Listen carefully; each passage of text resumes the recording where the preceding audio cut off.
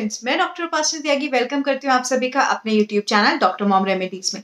आज की वीडियो में हम एक और बहुत इंपॉर्टेंट बेबी केयर से रिलेटेड टॉपिक के ऊपर बात करने वाले हैं कि अगर आपका बच्चा एनिमल मिल्क ले रहा है, जैसे कि गाय का दूध या भैंस का दूध पीता है और विंटर्स आ गए हैं, सर्दियाँ आ गई हैं तो रात के समय आप उसको दूध को कैसे स्टोर कर सकते हैं, इसके ऊपर बात करेंगे। बहुत इंपॉर्टेंट टॉपिक है।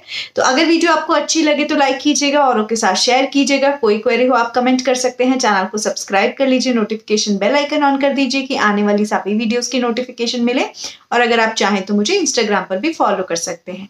तो चलिए वीडियो को स्टार्ट करते हैं।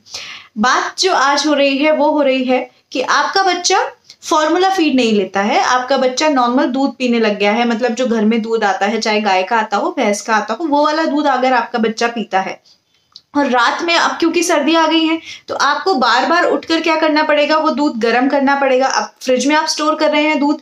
अब वो दूध को आप उठ के गर्म करेंगे, उसके बाद वो दूध को आप बच्चे को पिलाएँगे। कई बार रात में जब बच्चा रोता है तो वो इतना टाइम नहीं देता कि आप उस दूध को फ्रिज से निकाल के गर्म कर सके। और कई बार आप अकेले होते हैं, कोई हेल्प नहीं होती है तो बच्चे को साथ में लेके जाना पड़ता है, क्योंकि बच्चा उठ ना जाए या बच्चा गिर ना जाए बेड से तो उसे अपने साथ लेके जाना किचन में, फिर वो दूध गर्म करना। और इसमें कई बार बच्चे बच्चे बहुत क्रैंकी हो जाते हैं, बहुत रोने लग जाते हैं। रिसेंटली ये प्रॉब्लम मैंने इनकाउंटर की है तो मुझे इसका एक सॉल्यूशन मिला। मैंने वो क्योंकि एक जुगाड़ टाइप बनाया पहले और उसके बाद उसका एक्चुअल सॉल्यूशन मैंने ढूंढा। तो मुझे लगा कि ये सॉल्यूशन वर्क कर रहा है तो मुझे और मदर्स के साथ भी शेयर करना चाहिए। और बहुत ही इकोनॉमिक है तो इसलिए डेफिनेटली मदर्स के साथ शेयर करना चाहिए।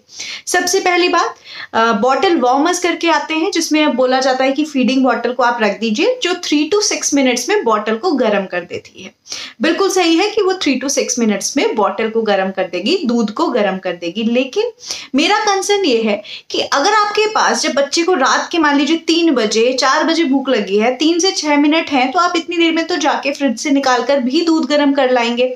तो फिर मतलब एक ऐसी चीज़ जो ढाई हज़ार, तीन हज़ार, चार हज़ार की आ रही है, उतना स्पेंड करना, क्योंकि बच्चा बहुत लंबे समय तक तो ऐसा है नहीं कि बॉटल से ही दूध पिएगा तो वो वर्थ मुझे नहीं लग रहा था। मैं जब वाटर वार्मर परचेज करने गई तो मेरा कंसर्न ये था कि क्या कोई ऐसा वाटर वार्मर है जो क्लेम करता हो कि वो एक फिक्स टेम्परेचर पे हमेशा दूध को मेंटेन करके रखेगा, जिससे कि जैसे ही आपको बच्चे को पिलाना है इमीडिएटली आपने बॉटल निकाली और पिला दी। बट इस तरह का कोई भी मुझे नहीं मिला, अगर हो सकता है कि आपको इस तरह मिला हो तो आप कमेंट करके मुझे बताइएगा। मुझे बिल्कुल नहीं मिला। तो मैंने परचेज भी नहीं किया क्योंकि मुझे वर्थ नहीं लगा। अगर मुझे तीन से छह मिनट लगने ही हैं तो मैं नॉर्मल भी दूध गर्म कर सकती हूँ। तो वो मैंने परचेज नहीं किया। उसके बाद मुझे लगा कि अगर मैं आ, कोई ऐसी चीज़ हो कि हम एक बार दूध को बॉईल करके रख दें और वो एटलीस्ट इतना ठंडा ना हो कि बहुत ज़्यादा सर्दियाँ हैं तो बहुत ठंडा हो जाएगा। बट अगर हम उसको कंप्लीटली एक बार बॉईल करें और उसके बाद स्टोर करके रख दें तो वो फटे भी ना और एटलीस्ट वो इतने टेम्परेचर पे रहे कि बच्चा उसको इजीली रात को अगर तीन बजे, चार बजे दोबारा बच्चे को भूख लगी है तो आप इमीडिएटली उसको निकाल तो उसको पिला सके। तो इसमें मुझे बहुत अच्छा एक प्रोडक्ट मिला, जिसके बारे में मैं बात करूँगी। पर उससे पहले मैं बताऊँगी कि मैंने एक जुगाड़ लगाया। जैसे घर में जो आपने देखा होगा, वैसे बॉटल्स आती हैं, या उस जिसमें हम थर्मस जिसको हम बोलते हैं, जिसके अंदर हम कई बार चाय, दूध वगैरह कैरी करके ले जाते हैं तो उसके अंदर मैंने एक कांच की बॉटल को खड़ा कर दिया। मैं आपको कांच की बॉटल्स भी दिखा दूँगी जो मेरे पास थी। कांच की मैंने एक बॉटल मंगाई वामिका के लिए और उस कांच की बॉटल में मैं रात को साढ़े दस बजे एक बॉइल्ड लगाती थी दूध में और बिल्कुल बॉइल्ड मिल्क को छान के उस कांच की बॉटल में भर देती थी और उस कांच की बॉटल को खड़ा कर देती थी उस थर्मस के अंदर और उसको ऊपर से बंद कर देती थी। अब क्योंकि जो बॉटल का साइज़ था वो थोड़ा बड़ा था और मेरे पास जो थर्मस था उसका साइज़ छोटा था तो उस थर्मस के जो ढक्कन है उसकी जगह मैं एक कपड़े को रैप कर देती थी और उसके बाद मैंने देखा कि क्या, क्योंकि वो बोला जाता है कि वो इंसुलेटेड होता है, वो अंदर से हीट को प्रिजर्व करता है, उसमें अगर कोई चीज़ हम रखते हैं तो वो गर्म ही रहती है। तो उसके अंदर कांच की बॉटल है तो डेफिनेटली देखते हैं कि कितनी देर गर्म रहती थी। तो हाँ वो रात में तीन चार बजे तक आराम से गर्म रहती थी छह सात घंटे तक वो गर्म रहती थी। और वामिका को जैसे मान लीजिए फोर आवर्स के बाद फाइव आवर्स के बाद भूख लगती थी तो वो जस्ट हम निकालते थे और पिला देते थे। बट मुझे लगा कि अगर ये इस तरह इंसुलेटर काम कर रहा है तो क्या इस तरह का कोई प्रोडक्ट भी आता है। तो जब मैंने सर्च किया तो मुझे एक बड़ा अच्छा प्रोडक्ट मिला। बहुत ही चीप प्रोडक्ट भी था, बहुत महँगा प्रोडक्ट नहीं। तो मैं आपको प्रोडक्ट दिखाती हूँ। मुझे इस तरह का ये इंसुलेटर बैग मिला। ये मैंने फ़र्स्ट क्राई से ऑर्डर किया। फ़र्स्ट क्राई पे इजीली अवेलेबल है। अगर मैं इसकी कॉस्टिंग की बात करूँ आई थिंक सिक्स हंड्रेड का के आसपास मुझे मिला है। और ये टू बॉटल्स वाला है। इसको इंसुलेटर बैग ही इंसुलेटेड बैग इसी के नाम से है बॉटल बैग्स के नाम से। इसमें ये चेन लगी हुई है। अगर आप इसको खोलेंगे तो इसके अंदर इस तरह के दो कंपार्टमेंट्स हैं। मैंने ऑलरेडी ये बॉटल्स इसमें खड़ी की हुई हैं, जिससे कि आपको पता चल जाए। इस तरह की मैंने कांच की बॉटल्स परचेज की। अच्छा मैंने कांच की क्यों परचेज की? क्योंकि मुझे नहीं पता, मैं बहुत ज़्यादा थोड़ा उस तरह की मदर हूँ कि मुझे लगता है बच्चे के लिए बेस्ट होना चाहिए।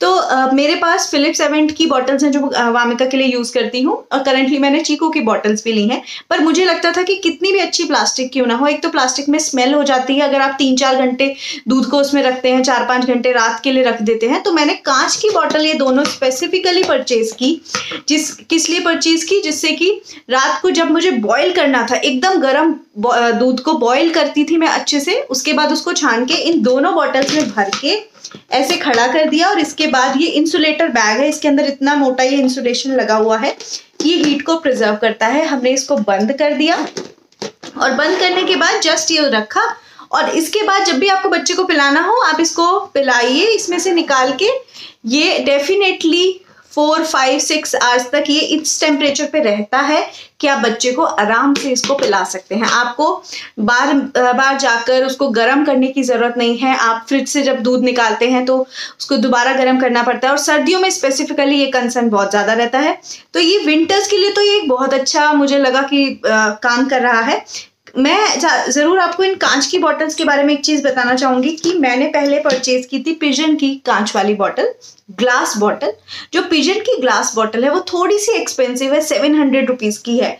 और पर्पज सेम है कि आपको रात के समय किसी कांच की बॉटल में रखना है तो आप कोई अच्छी कांच की बॉटल भी खरीद सकते हैं। ज़रूरी नहीं है कि आप फीडिंग बॉटल में रखें।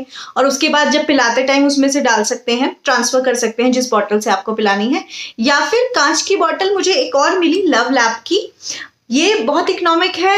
ये I think three hundred rupees या टू फिफ्टी रुपीज़ के आसपास की बॉटल मिली और बिल्कुल दोनों इक्वली काम कर रही हैं। तो मुझे क्योंकि बॉटल सिर्फ़ दूध रात को स्टोर करने के लिए चाहिए थी तो मैंने दोनों ही प्रोडक्ट्स खरीदे और दूसरे मुझे आप लोगों को भी बताना था कि बॉटल्स ऑलमोस्ट सेम है। सिर्फ़ मनी का और ब्रांड का बेसिकली डिफरेंस है तो आप दोनों में से कोई भी परचेज कर सकते हैं। दोनों ही बॉटल्स इक्वली अच्छी हैं। रिकमेंडेशन ये है कि अगर आप इस तरह का इंसुलेटर कोई यूज़ कर रहे हैं, ये मैंने फ़र्स्ट क्राई से मंगाया है, आप भी इजीली मंगा सकते हैं। आप इस तरह का कोई इंसुलेटर यूज़ कर रहे हैं तो उसके अंदर जब आप ये बॉटल्स यूज़ कर रहे हैं, ये कांच वाली यूज़ करें। अगर आप प्लास्टिक वाली करते हैं, वो भी कर सकते हैं बट प्लास्टिक की बॉटल में एक तो स्मेल हो जाती है। दूसरा प्लास्टिक में इतने लंबे समय तक दूध को ऐसे ही रखना थोड़ा ठीक नहीं लग रहा था तो कांच की बॉटल्स में आप रखिए। नेक्स्ट एक और चीज़ कि ये जो बॉटल्स हैं, इनको भी आप स्टरलाइज कर सकते हैं तो ये इजीली स्टरलाइज हो जाती हैं।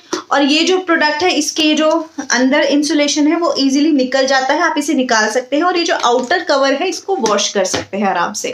तो ये मुझे प्रोडक्ट बहुत अच्छा लगा। मुझे लगा आपके साथ रिव्यू ज़रूर शेयर करना चाहिए और ये बताना चाहिए कि अगर आप चाहें तो इस तरह का ये परचेज कर सकते हैं इजीली रात में बार बार उठ के दूध गर्म नहीं करना पड़ेगा। अच्छा समर्स में ये कैसे काम करेगा?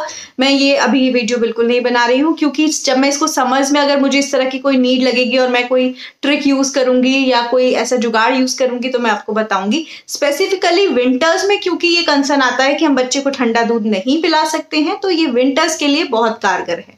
So I hope being a mother ये ट्रिक मैंने आपके साथ शेयर की। मेरी बहुत सारी ऑडियंस है जो अभी प्रेगनेंसी के लिए ट्राई कर रही हैं बट ये वीडियोस आपको जब आपका ये वाला फ़ेज़ आएगा तो बहुत हेल्प करेंगी। डे बाय डे जब मुझे कोई प्रॉब्लम एनकाउंटर होती है तो मुझे समझ में आता है कि अच्छा मैंने इसका ये सॉल्यूशन निकाला तो मुझे लगता है कि मुझे आपके साथ भी शेयर करना चाहिए। So I hope if you like this video then give it a thumbs up और अगर कोई क्वेरी है तो आप कमेंट लिख सकते हैं। And kindly share this video please subscribe to my channel thank you so much